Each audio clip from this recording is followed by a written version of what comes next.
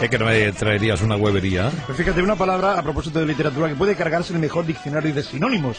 Aquí está el ejemplo en nuestro huevería de la riqueza de nuestro idioma. Con una sola palabra podemos expresar mil y una ideas. ¿Qué palabra es eh, la que tiene esa formidable cualidad?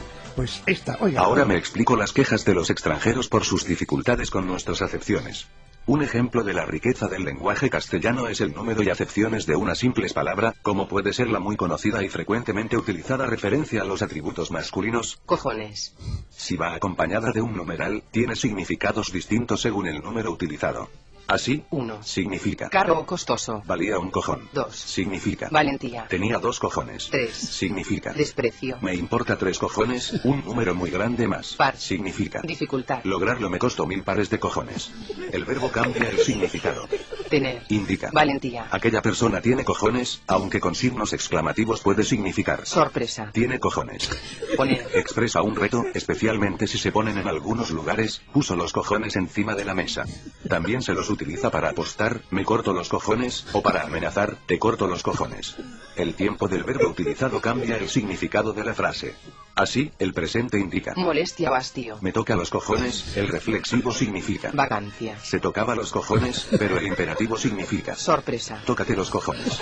Los prefijos y sufijos modulan su significado. A. Expresa. Miedo. Acojonado. Des. Significa. Cansancio o risa. Descojonado. U. Indica. Perfección. Cojonudo. Y. Ato. Se refiere a la. Indolencia o abulia. Cojonazo. Las preposiciones matizan la expresión. D. Significa. Éxito. Me salió de cojones. O. Cantidad. Hacía un frío de cojones. Por. Expresa. Voluntariedad. Lo haré por cojones. Hasta. Expresa. Límite de aguante. Estoy hasta los cojones. Con. Indica. Valor. Era un hombre con cojones y. Sin. Cobardía era un hombre sin cojones. Es distinto el color, la forma, la simple tersura o el tamaño. El color violeta expresa. Frío. Se me quedaron los cojones morados, la forma. Cansancio. Tenía los cojones cuadrados, pero el desgaste implica. Experiencia. Tenía los cojones pelados de tanto repetirlo. Es importante el tamaño y la posición, tiene los cojones grandes y bien plantados. Sin embargo, hay tamaño máximo, tiene los cojones como los del caballo de Espartero, que no puede superarse, porque entonces indica. Torpeza o vagancia. Le cuelgan, se los pisa, se sienta sobre ellos, e incluso necesita una carretilla para llevarlos.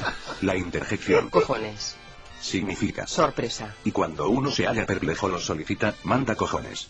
En ese lugar reside la voluntad y de allí surgen las órdenes, me sale de los cojones. En resumen, será difícil encontrar una palabra, en castellano o en otros idiomas, con mayor número de acepciones.